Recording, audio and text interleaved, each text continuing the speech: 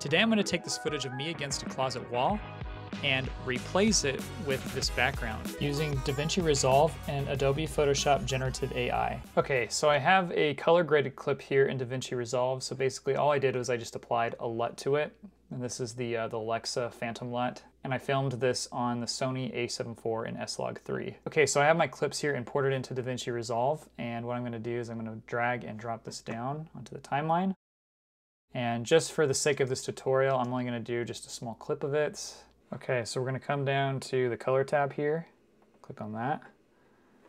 Okay, so the next thing we're gonna do is we are going to select our magic mask tool here, and then we're gonna switch it to better.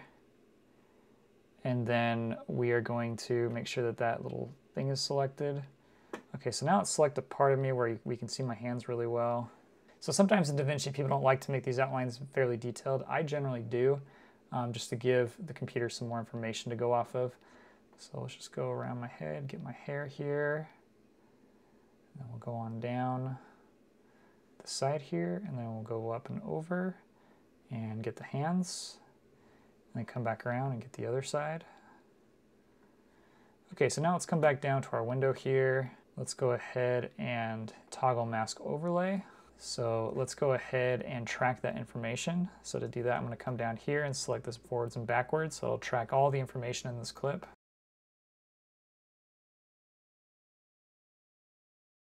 All right, so we'll just right click anywhere in here and hit add alpha output. And then I'm going to take my mouse, click where that little blue square is, and then we'll just drag that down to this blue dot here. Okay, so I'm going to turn off the overlay and then I am masked out. Okay, so I'll go ahead and set the uh, in to out ratio. We'll go ahead and set this to negative 43. Okay, I'm to turn the clean black up to 1.5. Okay, so we'll go ahead and just take a look and see what that looks like once we put the background in. Again, it's not it doesn't have to be perfect per se to fool the eye.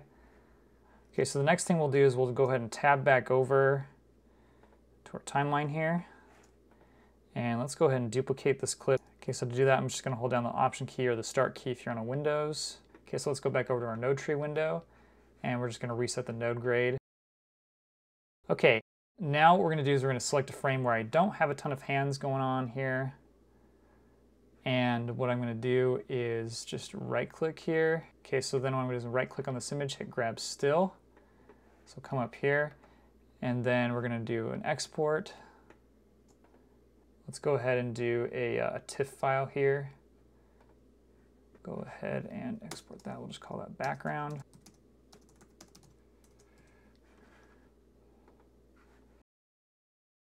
So we're going to use some AI stuff here in Photoshop now. So I'm going to come down here and we'll just hit select subject. And then you can see here it's just drawn a, uh, it doesn't have to be perfect here we want to make sure to get the lighting in the background that we're going to generate to match me. And we also want the focal length to match as well. We don't want the background to appear too, too big or too crazy. We don't want the background to look like it was filmed on like an ultra wide fisheye lens, for example, when clearly here I was filmed on like, at like about 60 millimeters full frame. So we want to make sure that our background matches the focal length pretty well. And I found a little gimmick here to do that. So this is kind of a strange way I'm about to show you. So you're probably gonna be wondering like, what the heck are you doing? Just trust me, it's, it's gonna work out in the end. So what I'm gonna do is I'm gonna hit Command T on my keyboard. And then what I'm gonna do is I'm going to shrink myself down literally to a borrower size person down here. Okay, so next thing I'm gonna do is I'm gonna come up to select and then I'm gonna hit inverse. Okay, so now here's where the generative fill comes in. So we'll come down to generative fill. So what we're gonna do here, so the prompt here is key. There's two things you wanna keep in mind. You wanna make sure that your background kind of matches the color of the background here. So this is generally like a white color. You can see that the key light on my face is on the left side here. So what we're gonna do is we're gonna say, um, we'll just say something like large. And, you can, and again, you can make this whatever you want large living room space with white walls.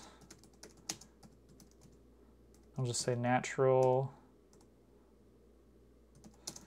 light, light is coming from the left side of the frame.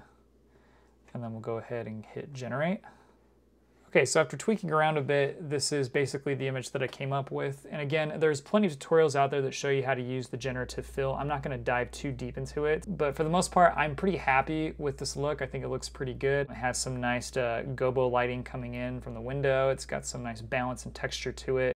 Um, nice lighting in the middle there.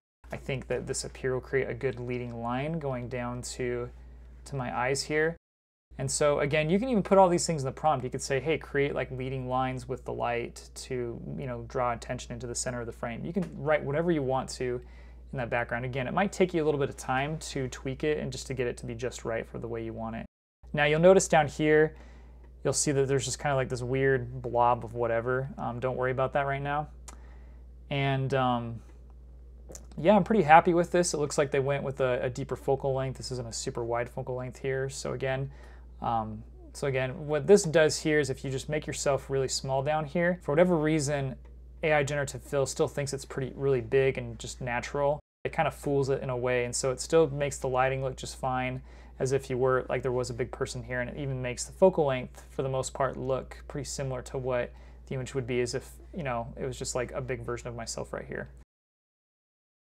Okay, so I have it in DaVinci here, so I'm just going to go ahead and bring this down. Okay, so right off the back, this looks super fake to me. Okay, so we're gonna tweak this a little bit to make things blend in a little bit more. Okay, so let's go back over to our color tab here. Okay, so let's make sure that this uh, generative AI image is selected here. And let's go over to our library window. And then we'll go up to the magnifying glass here. And let's just search for blur.